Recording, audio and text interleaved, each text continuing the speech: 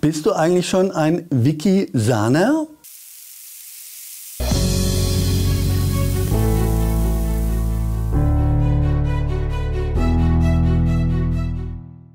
Ich begrüße Sie wieder ganz herzlich in unserem Format Kolloquium.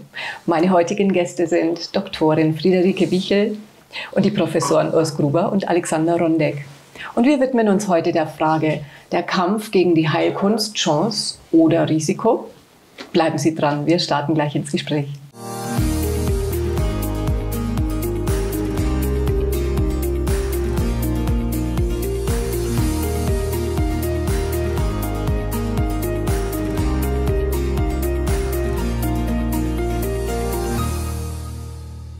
Herzlichen Dank, ihr Lieben Experten. Schön, euch hier zu haben. Ich freue mich auf ein spannendes Gespräch. Es geht um das Thema Kampf gegen die Heilkunde, ob das eine Chance oder ein Risiko ist. Wir müssten vielleicht erstmal das Thema Heilkunde definieren. Was können wir denn unter Heilkunde verstehen? Magst du ja, mal ist eine gute, mal? eine gute Frage, gegen welche Heilkunde, mhm. dass wir jetzt heute ja. sprechen würden und wer den Kampf eigentlich ausführt. Ja, wenn man von Heilkunde spricht, ist es ja ein ganz ein allgemeiner Begriff. In der Regel wird das etwas einfach eigentlich unterteilt in dem, was wir unter der sogenannten Schulmedizin verstehen. Also ein, ein, ein Medizinstudium, das man an der Universität aufgrund von ganz bestimmten ähm, Messmodellen eigentlich da pflegt. Und dann gibt es der, den anderen Teil, man könnte jetzt sagen, es ist komplementäre Medizin oder es ist, wird verstanden als biologische Medizin. Es gibt über 300 von diesen Begriffen, okay. äh, wenn man weltweit etwas schaut, was man darunter subsumieren oder verstehen könnte. Allein in der Schweiz, weil ich ja aus der Schweiz komme, allein in der Schweiz sind über 900 Methoden vertreten, dieser außerschulmedizinischen mhm. Fächer. Und das können mitunter, äh, eines ist die chinesische Medizin oder Ayurveda oder Kampo, also die japanische. Da gibt es auch ganz, ganz große Konzepte, Modelle und Anwendungsgebiete.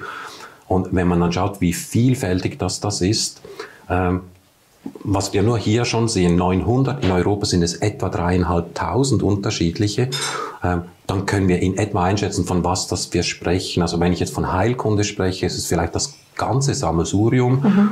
Ob jetzt die Schulmedizin, ob wir die jetzt im Moment vielleicht etwas ausklammern könnten, weil ich nicht weiß, wer gegen die kämpft, oder vielleicht, mhm. man, man weiß es nicht genau, aber dass wir vor allem für, von diesen naturherkundlich, komplementärmedizinischen ähm, Verfahren und Methoden ja. sprechen, glaube ich. Mhm. Und wenn ich jetzt mir überlege, äh, wer dagegen kämpfen äh, wollen, wollen würde oder vielleicht könnte. auch tut, ja, oder könnte, dann müsste ich schon wieder sagen, ja, kommt darauf an. Also aus meiner Sicht.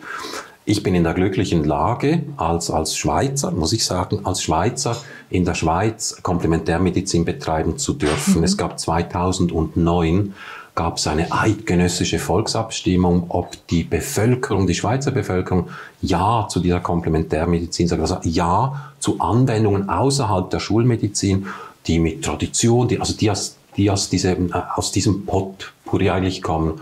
Und da hatten wir eine gute Zweidrittel Mehrheit, also zwei Drittel der Bevölkerung hat Ja gesagt.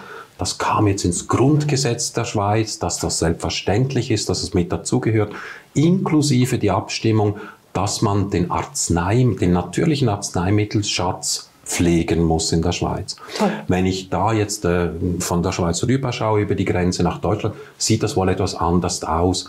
Ähm, ich sage jetzt nicht, dass die, die Schweiz jetzt ausschließlich das gelobte Land ist, jetzt für diese man kann miteinander tun. Es geht aber doch schon um einiges besser, als wenn ich nur schon über die Grenze schaue, muss ich eingestehen. Einerseits vom Gesetzgeber her ist vieles viel mehr möglich und andererseits stellt man auch fest, muss ich, muss ich sagen, ähm, wenn ich in Deutschland naturkundlich orientierte Therapeuten betrachte, ob es Ärzte sind oder nicht ärztliche, also Heilpraktiker zum Beispiel sind, stelle ich fest, dass da ganz viele ähm, Ärzte und Nichtärzte als komplementärmedizinische Therapeuten die sehr ähnlichen oder dieselben Anwendungen äh, im Rahmen der Naturheilkunde betreiben. Das heißt, ein Heilpraktiker in Deutschland, der darf, man sagt dann blutig arbeiten, also darf man auch mal mit der Spritze und darf er mal Infusion und so weiter. Und je nachdem, was er jetzt in die Infusion tut, ist er gar nicht so weit weg vielleicht vom, vom Doktor, vom Arzt, der vielleicht genau dasselbe macht. Mhm.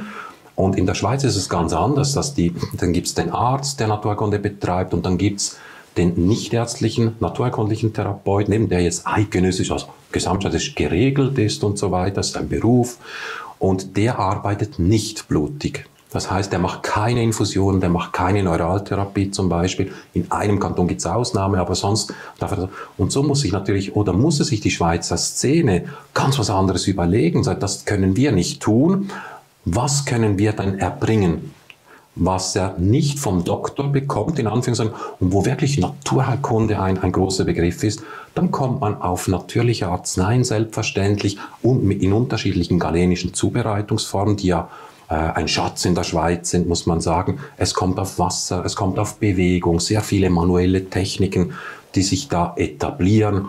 Es gibt in der Schweiz ein Qualitätssystem, das Erfahrungsmedizinische Register zum Beispiel, das über 300 dieser Methoden ähm, beziehungsweise die, die, Therapeuten qualifiziert, um zu schauen, sind die äh, ge also geeignet, haben die die nötige Ausbildung, damit sie quasi auf Herz- und Augenhöhe mit einem Patienten so arbeiten können, ist diese Qualität gesichert. Und so findet man auch häufig Ärzte, die in der Schulmedizin arbeiten, die sagen, nee, da habe ich kein Problem, wenn jemand jetzt noch äh, äh sich dies und jenes zugutekommen lässt, auch wenn es ganz andere Methoden und Modelle sind, die er versteht. Wenn jemand qualifiziert ist und auch gerne am Patienten arbeiten mag, äh, also äh, die, die, die Schwelle in der Schweiz ist nicht so hoch, würde ich jetzt mal so unterstellen, wie das in Deutschland zum Beispiel ist. Und wenn man jetzt sagt, wer kämpft gegen was, dann könnten es Methodenvertreter sein, so Schulmedizin gegen Naturheilkunde oder gegen Komplementärmedizin und genau dasselbe umgekehrt. Komplementärmedizin gegen die Schulmedizin, verstehe ich alles, muss ich eingestehen, ich verstehe es hinten und vorne nicht. Es wird immer quasi der Mensch, der Hilfe sucht, außer Acht gelassen. Also wenn wir jetzt als, als Diszi unterschiedliche Disziplinen gegeneinander kämpfen und vergessen, für was das wir es überhaupt tun, ist es für mich immer sehr, sehr schwer, da äh, irgendwas überhaupt dazu sagen. Wenn jemand dagegen sein könnte, wäre es ja der Patient, mhm. der Mündige, mhm. ja. Und sonst sollen doch die einen oder die anderen es soll nichts mischen, sondern sollen zum Wohle des Patienten wirklich auch miteinander sehr gut kommunizieren und da äh, dem Patienten zur Verfügung stehen. Unabhängig von welcher quasi, mit welchem Modell, dass man da arbeitet. Ich weiß nicht. Und ich, ich glaube, es ist ja auch noch, ist ja nicht nur die Schulmedizin gegen die Heilkunde, ne? sondern es ist ja auch, wir müssen halt auch über die Politik und die Pharmaindustrie sprechen, mhm. ne? die natürlich kein Interesse daran haben, dass der Patient heilt, sondern die ihre Medikamente dann auch vertreiben wollen und dann für die Nebenwirkungen des Medikaments schon wieder ein Medikament und das auch knallhart in ihr Kalkül quasi mit einbeziehen. Und das ist, glaube ich, noch der größte Punkt gegen die Heilkunde, die sich da wirklich sehr, sehr stark machen. Mhm. Also, ich, als ich die Frage gehört habe, sind mir auch zwei Sachen durch den Kopf gegangen. Erstens, Kampf gegen die Heilkunde, also es widerspricht Heil und Kampf. Mhm. Das sind völlig konträre Prinzipien, also die, die, die, die kann man eigentlich gar nicht zusammenbringen. Also es darf eigentlich nie ein Kampf sein, wenn ich jemanden heilen möchte. Und jetzt kommen wir eben, schließt genau zu dem an, der zweite Punkt ist, weil man gedacht habe, Heilkunde, mh, mm, machen wir eine Heilkunde? Also versuchen wir zu heilen oder versuchen wir eine Krankheit zu beseitigen? Heilen würde ich eher darunter verstehen, zurückzuführen in die Gesundheit und in die gesunde Haltung des Patienten. Mhm. Ähm, und ja, es gibt natürlich bestimmte Bereiche im, im, wirtschaftlichen Leben, die jetzt nicht so groß interessiert sind, dass eine komplette Heilung, eine, eine Gesundung und eine gesunde Erhaltung besteht, sondern dass der Patient eine vielleicht auch eine Abhängigkeit äh, erlangt. Das heißt, er braucht bestimmte medizinische Gegebenheiten, damit er weiterhin ähm, diese in Anspruch nimmt und das natürlich aus wirtschaftlicher Sicht, was völlig legitim sein kann, wenn man, wenn man, wenn man aus rein wirtschaftlicher Sicht das sieht, eine Abhängigkeit dadurch erzeugt, also einen Gewinn weiterhin spielt. Kennt man bei den Druckern das Gleiche. Drucker kriegt man relativ günstig. Die geeigneten Tintenpatronen sind unglaublich teuer. So schaffe ich einen Einstieg und eine Abhängigkeit. Und ich kann nur dann drucken, wenn ich auch wieder genau diese Druckerpatronen habe. Also es ist ein wirtschaftliches Prinzip. Und das kollidiert natürlich mit einem moralisch, ethisch völlig anderen Modell der Gesundheit oder der Gesunderhaltung oder Wiedererlangung. Und das ist, denke ich, das Große. Und dann kann man natürlich schon sagen, es sind bestimmte Widerstände oder Strömungen, die ähm, nicht unbedingt die Heilkunde, also die Kunde, wie man heilt, im Sinn haben. Ja, jetzt denke ich mir eigentlich, wenn ich so einen Beruf ergreife ähm, und ich werde Mediziner, dann habe ich ja, leiste ich ja einen hippokratischen Eid und dann soll es doch in meinem Interesse auch sein, dass ich jedem, der kommt, wie du so schön sagst, irgendwie in die Gesundheit zurückführe. Und mir erscheint es dann manchmal eben, wenn ich sowas höre, natürlich äh, macht das Sinn, was ihr so sagt, ne? aber es gibt eben einfach dann scheinbar einen Teil derer, die die Augen davor verschließen, vor dieser Pflicht, die ich annehme als Arzt oder die ich eingehe oder diese Verantwortung und irgendwie, also ich nenne es immer ganz gerne, die Seele verkaufen. Also dazu muss ich mal sagen, ich habe ja nun das Studium nicht, das ist nicht so lange her, dass ich es abgeschlossen habe, 2014. Und ein Eid habe ich nie geschworen. ähm, das Examenzeugnis kam per Post. Also da fängt es schon an. Ja. Du schwörst nämlich, es wird immer gesagt, das ja. ist in den Köpfen so verankert, aber du schwörst diesen Eid nicht mehr. Als Medizinstudent bist du Lobbyist der Pharmaindustrie und das ist alles. Also es und war auch 2000 so. Ich kann, also das war mein Abschluss. Ich habe es auch per Post gekriegt und ein Eid habe ich nie gespannt. Es gibt einige Universitäten, da wird es noch gemacht. Aha. Im ersten Semester, das weiß ich. Ich kann nur sagen, als ich habe in unstudiert, war es nicht der Fall.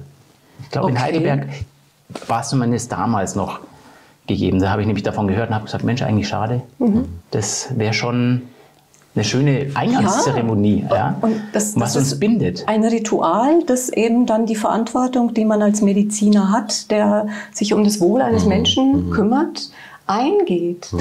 Vielleicht ein, einen Punkt möchte ich nur sagen, immer auch ein bisschen als Erklärung, Schrägstrich Entschuldigung. Mhm. Ähm, Im Medizinstudium in diesen sechs Jahren lernt man in einem bestimmten Bereich oder in einer bestimmten Art und Weise zu denken. Also ich habe es vorhin schon erklärt, wir lernen zum Beispiel in der Pharmakologie, ich erinnere mich, da haben wir einen Kardiologen gehabt, der hat uns erklärt, wenn einer einen Bluthochdruck hat, welche Möglichkeiten der Pharmakologie es gibt, um diesen Blutdruck zu senken.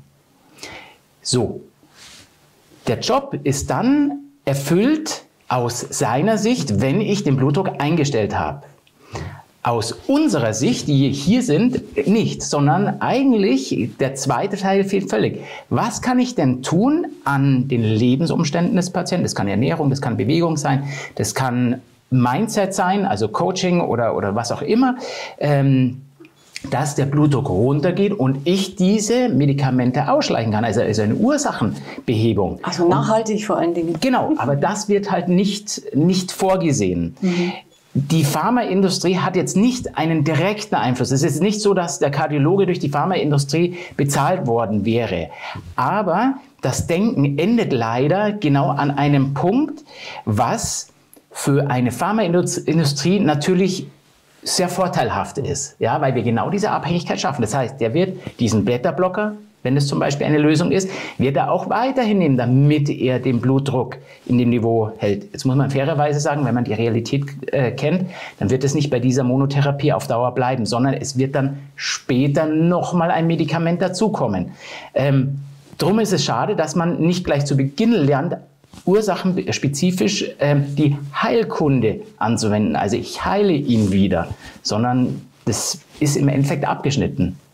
Also man müsste eigentlich grundsätzlich an der Ausbildung zum Mediziner, zum klassischen Mediziner da grundlegend mhm. viele Dinge verändern und, und wenn ergänzen. Ich, wenn ich ganz kurz einen Einsatz, wenn ich sechs Jahre so trainiert wäre und mache dann noch meinen Facharzt sechs Jahre und vielleicht noch eine Spezialisierung noch mal drei Jahre, dann bin ich sechs plus sechs ist, ist zwölf plus drei, 15 Jahre werde ich in eine ganz bestimmte Richtung getrimmt und man weiß selber, wenn man Kinder in eine bestimmte Richtung was beibringt und immer wieder gebetsmühlenartig das Gleiche sagt und nur bis dahin denken und sonst nichts anders, dann braucht man sich nicht wundern, dass es schwer fällt. Und das ist, darum nehme ich die auch immer in Schutz, weil ja. ich immer Patienten kriege, die sagen, ja, warum denkt denn der und der nicht so? Dann sage ich, wir haben das nicht anders gelernt. Und irgendwann bleibt man da hängen.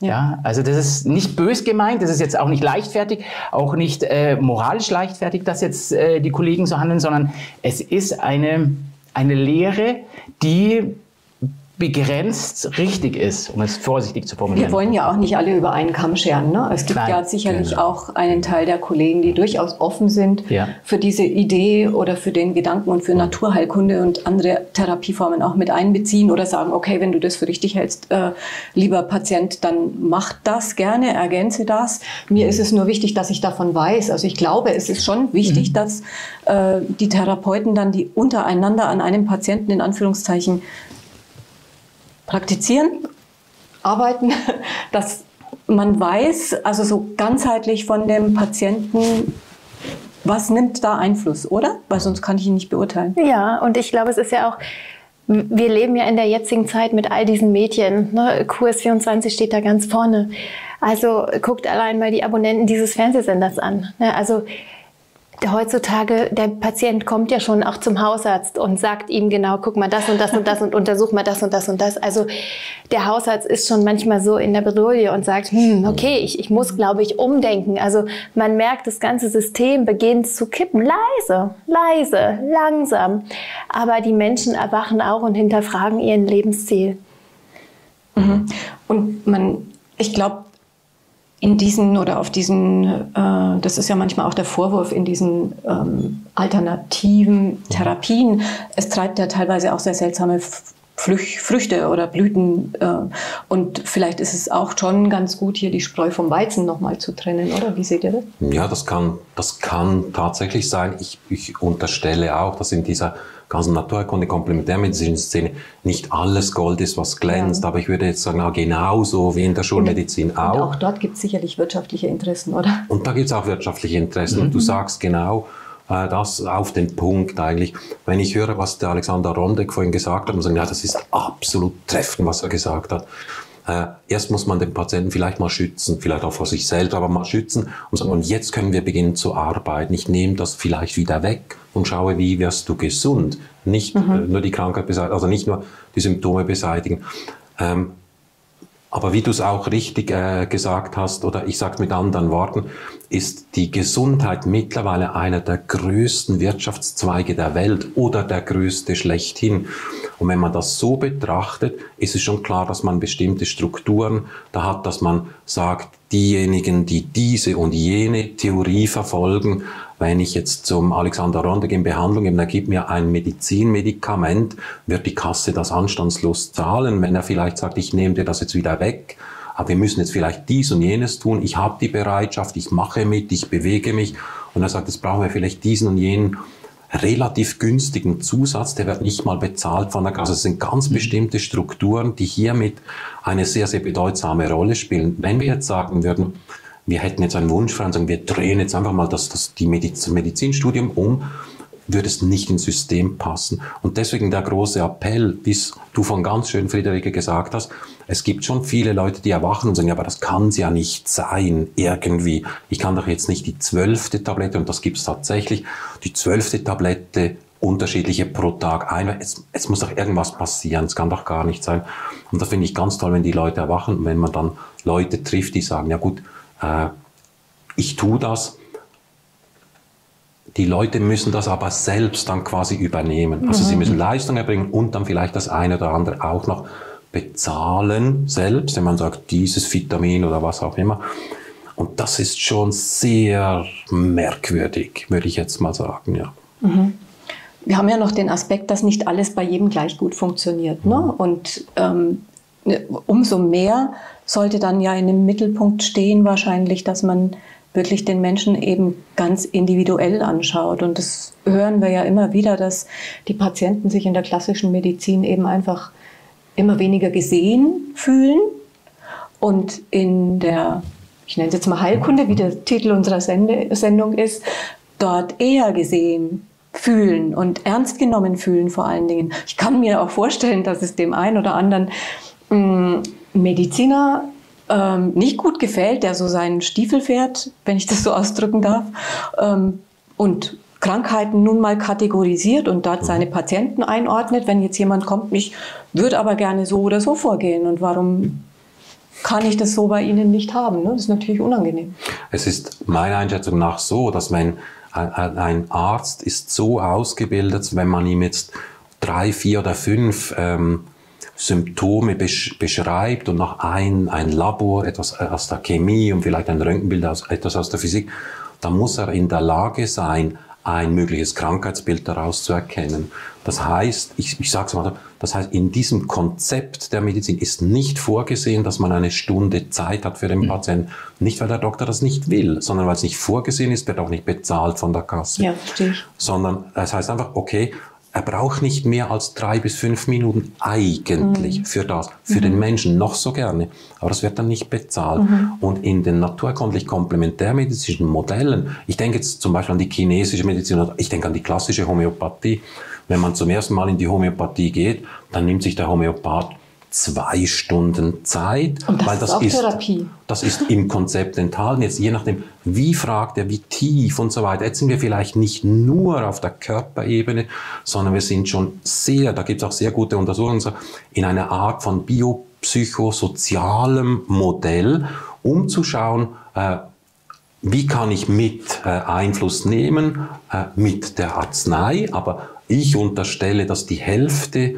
der Wirkung mindestens auch vom Therapeuten selbst kommt, weil das hat einen, einen ganz, ganz tollen Miteffekt, eine sehr schöne Art von, von Gesundheitsdynamik, das da angenommen werden kann, so dass der, und er, er schaut danach, wo sind die Ressourcen des, des Menschen selbst, ja.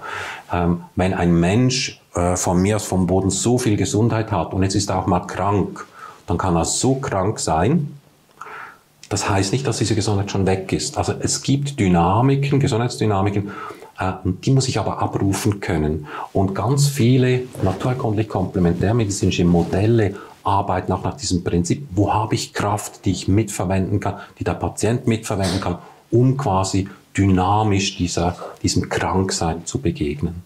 Mhm. Und ähm, was, was, mir noch eben ähm, eingefallen ist in den drei bis fünf Minuten, ich war hier in der Schweiz, als dieser neue Tarif vor ein paar Jahren eingeführt worden ist. Und ich bin hier nun jetzt praktischer Arzt. Und was du in drei bis fünf Minuten nicht machen kannst, ist den Patienten untersuchen.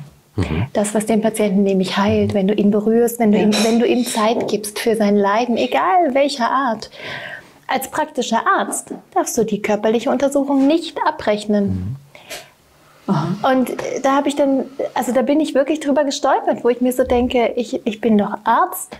Ich kriege das mein eigentliches Schaffen am Patienten nicht honoriert.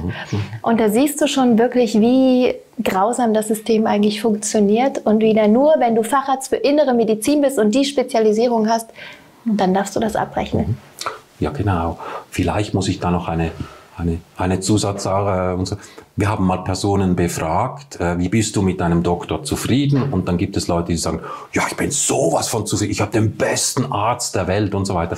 Und wir haben dann rückgefragt und gesagt, okay, was sind denn quasi die Merkmale des besten mhm. Arztes? Ich war dann sehr erstaunt, dass sie sagen, ja, ich kann hin und ich kann sagen, was ich habe. Und er sagt, okay, ich gebe sie gleich ins MRI und ins CT und mache ein Röntgenbild und mache noch diese Untersuchung der nimmt mich ernst. Und da muss ich den Appell vielleicht auch an den Patienten selbst richten. Der, Al der alte Herr Doktor, der, der Hausarzt, der schaut mit Händen, der macht eine Untersuchung. Und da gibt es viele Menschen, die das Gefühl haben, der nimmt mich gar nicht ernst, der hört mich noch mit dem Stethoskop ab und der schaut noch, wie ist denn das, äh, also wie ist, also wie ist die Durchblutung und so weiter. Das müssen wir gar nicht untersuchen. Wir gehen da und dahin. Interessant, dass für ganz viele Patienten äh, dann quasi die Wertigkeit dahingehend äh, ausfällt, wenn man sagt, der nimmt mich ernst, weil der meldet mich jetzt schon mal an sieben Orten für eine weitere Diagnostik an. Das erinnert mich so ein bisschen an ähm, ich bringe meine, ich habe mein Auto ist kaputt, ich bringe das in die Werkstatt und äh, bitte repariere das und ich hole es dann wieder ab und, ähm, und kann dann wieder weiterfahren. Als äh, okay, da müssen wir dies und jenes machen. Äh, also das ist auch so ein bisschen so eine Mentalität. Man möchte natürlich gerne die Gesundheit abgeben. Also ja. da muss man auch aufpassen. Wir haben immer wieder Patienten, die wünschen, der Wunsch ist völlig, völlig klar. Wenn ich chronische Schmerzen habe, dann will ich die loswerden. Dann will ich die hier in der Praxis lassen und ich möchte nach Hause ohne die Schmerzen gehen. Völlig verständlich. Nur ähm, eins muss klar sein, der Patient hat mindestens so viel zu tun wie der Arzt oder der Therapeut. Und nur wenn wir das gemeinsam machen, dann wird es auch funktionieren. Genau. Also wir sind uns da sicher einig, dass wir die klassische Medizin nicht abschaffen wollen würden in unseren Köpfen, sondern eben. das wäre ja auch fatal. Also ich ja. will ganz kurz die eine Minute nutzen. Letzte Woche, letzte Woche war, war wir beim, haben wir Eishockey-Trainingslager gehabt und dann gleich bei der ersten Eiszeit ist einer von uns in die Bande und äh, der lag dann da und ich bin dann geholt worden. Ich mache es ganz kurz der hat Kribbelgefühl in den Händen gehabt und dann wusste ich, okay, den nicht mehr bewegen, Notarzt gerufen und ich war heilfroh. Der hatte zum Schluss, der ist im Krankenhaus dann mit einem Hubschrauber rübergeflogen worden und hatte dann äh, den sechsten, siebten Halswirbel gebrochen gehabt. Ja, und ich bin heilfroh, dass es die Schulmedizin gibt. Ja, ja also um, um das ganz klar zu sagen. Und ja. ich, ich freue mich über alle meine Freunde und Kollegen. Wir treffen uns äh, in, in einem Monat wieder. Die machen alle Schulmedizin. Und ich bin dankbar, dass es die ja, gibt. Ja, weil ohne die, jeder hat seine Aufgabe in diesem ganzen System. Ja. Das, der einzige Wunsch ist, dass man offen ist für andere Sachen. Genau. Synergien nutzen und die unterschiedlichen Fachgebiete, dass mhm. nicht jeder meint, er hat die Weisheit mit dem Löffel gefressen, wenn ich so ausdrücken darf äh, und hat die allein selig machende mhm. Wahrheit, sondern dass man wirklich die Köpfe zusammensteckt ähm, für den Patienten oder im Sinne des Patienten. Das wäre wünschenswert. Mhm. Also das Gute aus allen Optionen, die für zur Verfügung Patienten. stehen, mhm. das wäre unser gemeinschaftliches Ziel mhm. und unser Credo aus diesem Gespräch. Ich danke euch ganz herzlich, dass ihr bereit wart, äh, hier eure Einschätzungen, eure ja, euer, euer, eure, euer Input dazu zu geben. Und in diesem Sinne sind wir leider schon wieder am Ende angekommen. Ähm, ich hoffe, Sie haben da ein bisschen Inspiration mitgenommen, auch ein mündiger Patient zu werden und sich auch, also die Verantwortung in Ihre Hände zu nehmen und auch mal klar zum Ausdruck zu bringen, was Sie möchten und aber auch Ihre Themen anzugehen. Denn eine Krankheit kommt nicht von ungefähr und wird nicht einfach mit dem Gießkannenprinzip ausgeteilt in die Umwelt, sondern wir tragen alle in einer gewissen Weise auch selbst dazu bei, wie es uns sowohl psychisch, geistig, seelisch, aber auch natürlich physisch geht. Und das, diese Idee wollen wir auch noch bei Ihnen lassen. Und wenn Sie mehrere dieser oder weitere dieser Gespräche mit unseren Experten die hier sind oder aber auch darüber hinaus viele wundervolle Menschen, die ihr Expertenwissen hier preisgeben, dann schauen Sie doch mal bei Wikisana vorbei, ein unabhängiges und freies Portal. Dort finden Sie noch viel mehr Aufschlussreiches und Intelligentes für Ihre Gesundheit. Ich freue mich, wenn Sie wieder einschalten und schauen Sie gut auf sich, seien Sie liebevoll zu sich und das ist das Allerwichtigste. Bis zum nächsten Mal. Auf Wiedersehen.